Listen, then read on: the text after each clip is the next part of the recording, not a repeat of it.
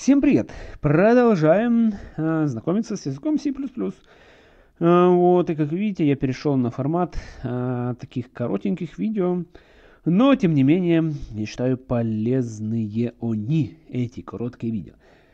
Итак, сегодня, э, сегодня о, о такой теме. Ограничиваем область видимости переменных э, в выражениях if и switch.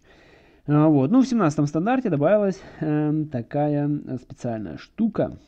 Вот, инициализация переменных э, в выражениях if и switch.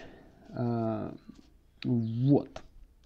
Э, благодаря вот этому описанному механизму, ну не описанному, вы сейчас увидите этот механизм, но благодаря вот этому область видимости переменной остается э, минимальной, э, потому что как бы по-хорошему ну, признаком обычно хорошего кода является минимальная жизнь время жизни каких-то переменных. То есть как можно, переменные должны быть ближе к используемому коду, то есть объявление переменных и использование, и дальше как бы не надо плодить там глобальных переменных и т.д. и т.п. Так вот, вот здесь как раз с помощью этого механизма можно добиться а, вот, чтобы область видимости некоторых переменных была минимальной. Так вот, смотрите, вот такой, например, примерчик.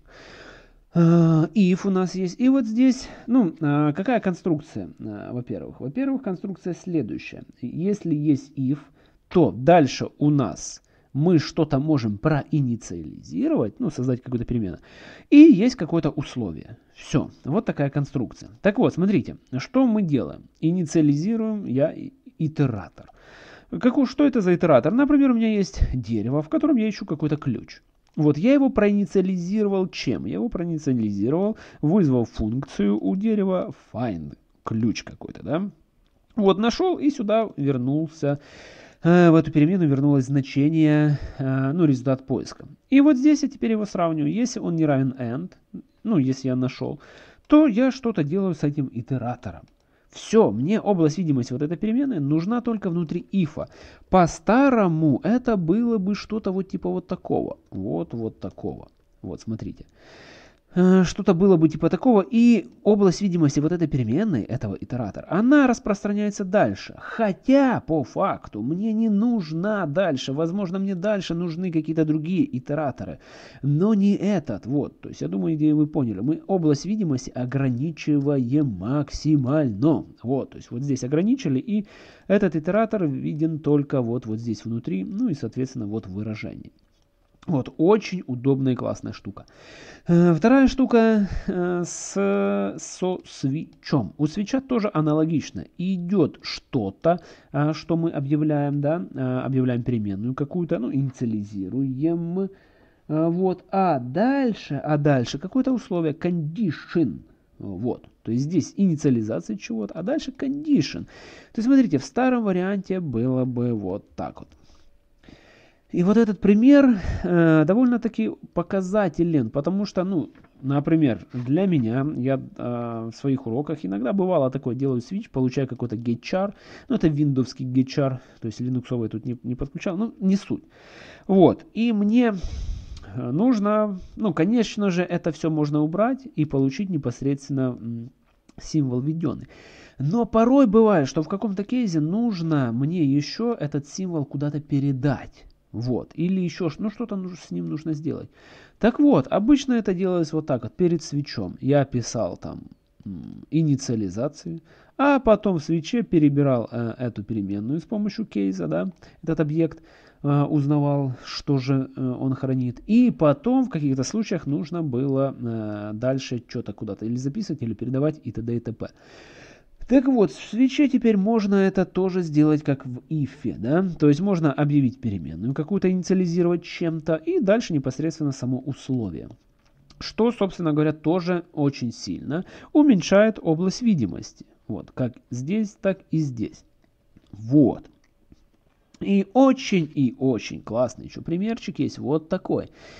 Э, кто работал с мьютексами, э, вот, с запиранием, то смотрите, в старых вариантах, в старых вариантах, ну, что здесь происходит? Смотрите, я инициализирую logguard. Что такое logguard? Э, ну, дело в том, что это такая безопасное запирание мьютекса.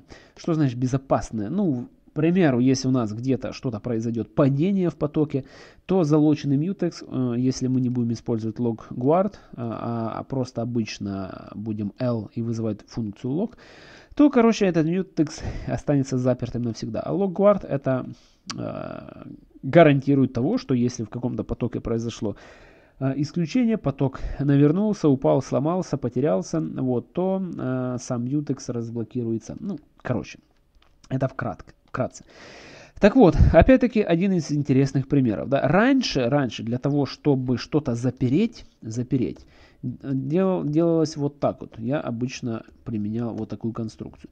То есть есть какая-то область видимости, соответственно, вот здесь запирался mutex, а так как здесь есть область видимости, то при покидании этой области видимости, вот здесь у объекта L срабатывал деструктор, и mutex распирался. Вот.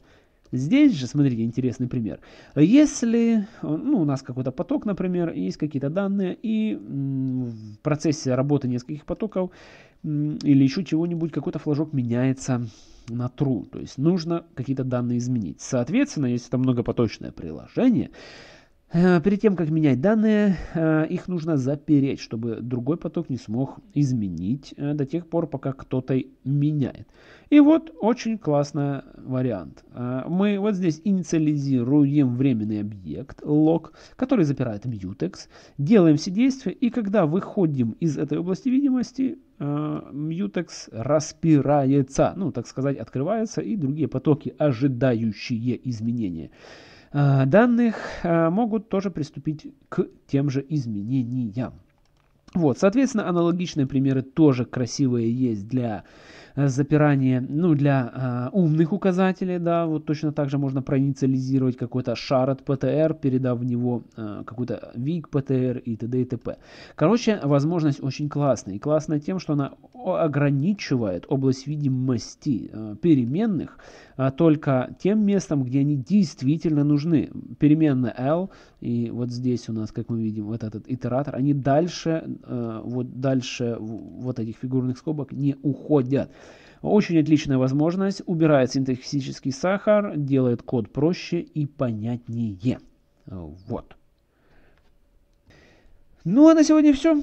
Всем спасибо за внимание. Подписываемся, делимся, ставим лайки, комментируем. Всем пока.